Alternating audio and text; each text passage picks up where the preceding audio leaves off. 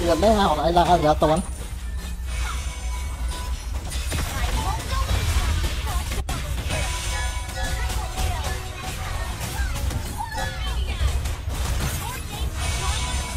Trời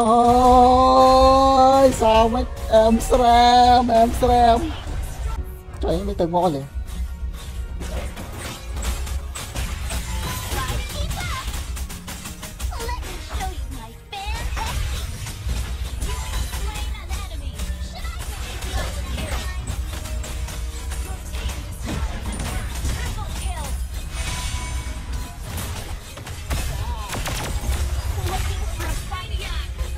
ណាមួយទៀតអូនៅណោះនៅណោះណោះចង់ដាក់យកសោចទៅហើយយកសោចស្ទះមក